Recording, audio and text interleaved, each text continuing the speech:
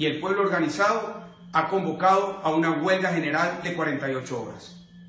Yo quiero sumarme de manera convencida, activa, a ese llamado que ha hecho el sector de los trabajadores venezolanos comprometidos con la democracia.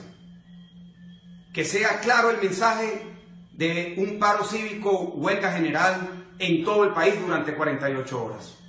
Y el próximo viernes yo los invito a todos los venezolanos, quienes están en Caracas y quienes están fuera de Caracas, a que vengan juntos a la gran toma de Caracas por la democracia, por la constitución y por la libertad.